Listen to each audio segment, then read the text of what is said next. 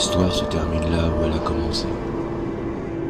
Qui étais-tu quand je marchais seul et regardais derrière moi l'empreinte de tes pas qui s'effaçait, absorbée par notre terre nourricière?